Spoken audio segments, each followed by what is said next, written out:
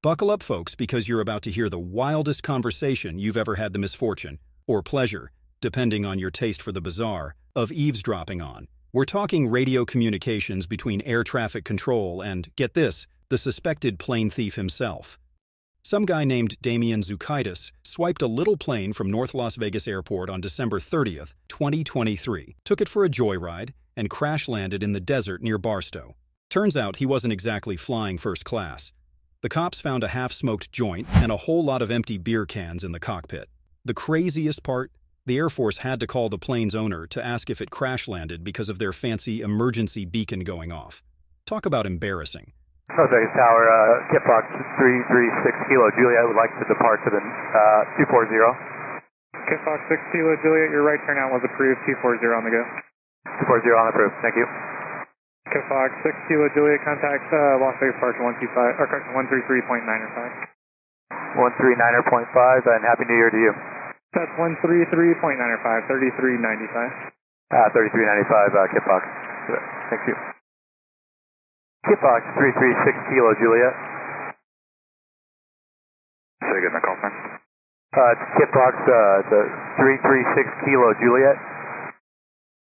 Please verify the call sign. 366 Kilo Juliet. Yes, sir.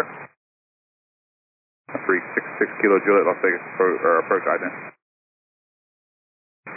Number 6 Kilo Juliet, ready to contact 5 miles west, northwest of the, uh, the uh, Las Vegas airport. Yeah, altimeter 2994 South Street. Uh, altitude 5600. 6 Kilo Juliet, right. And it's flight present heading next Bravo. Roger that. Heading I need is uh, about 240. Would that work? Good, Kilo Juliet, that's approved as requested, and uh, understand you climb 6 miles 500. Uh, yeah, I go 65. 6 Kilo Juliet, roger. I'll see your discretion, and uh, 240 heading approved. All right, 240. Thank you, sir. This is Kilo Juliet, you're clear through the Bravo airspace now. For now, fighting 240, maintain uh, 6,500. 240 and uh, 6500 approved for the Class Bravo airspace.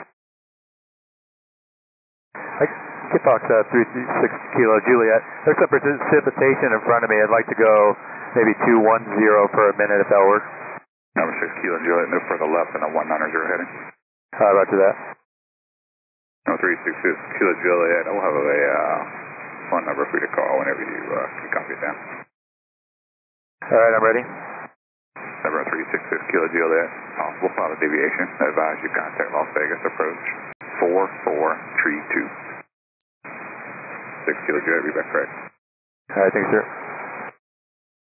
Number 6 Kilo Juliet, contact Las Vegas first now on 125.9er. 125.9. Kit Fox this is Juliet.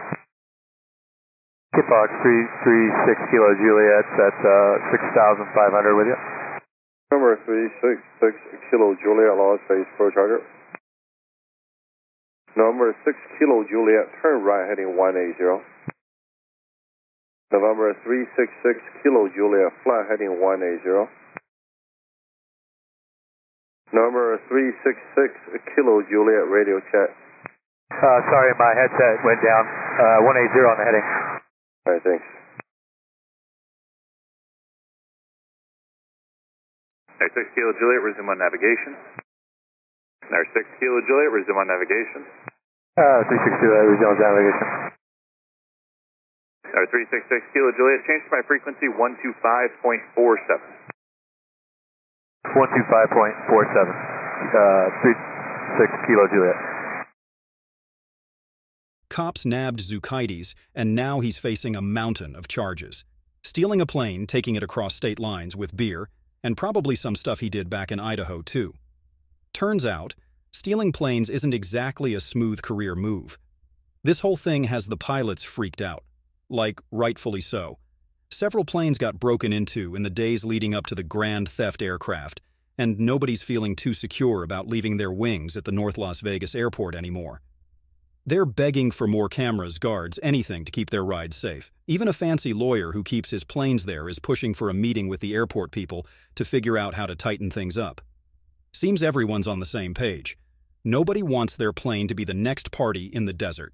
So yeah, that's the story of the dude who stole a plane, filled it with beer and weed, and ended up face down in the Mojave.